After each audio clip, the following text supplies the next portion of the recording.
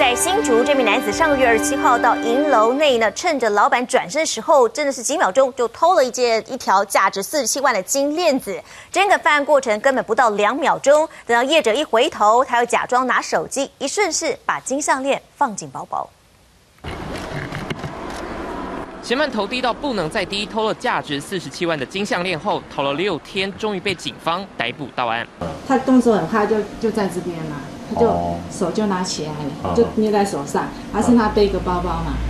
就顺手就就丢在那个包包里面。二十七号晚间，嫌犯走进这间银楼，说是要买项链当做阿公的礼物，没想到趁老板转身不注意，就将桌上一条链子紧握手中，之后假装要拿手机，四十七万的金项链就顺势滑进包包里。哦，那当时是称哦，便说他缺钱呐，哈，没有钱缴房租那部分了，哦啊，所以就起了这个歹念了。身上部分哦，还有可能就是剩下的一些哈赃款哦，还有两千两千多块哈，我们就按此跟他哦做一个查扣。四十七万的金项链换取现金四万两千块，最后花到只剩下两千多元。窃贼行径嚣张，警民合作，终于逮到嫌犯，也让附近银楼都松了一口气。记者严荣亮报采访报道。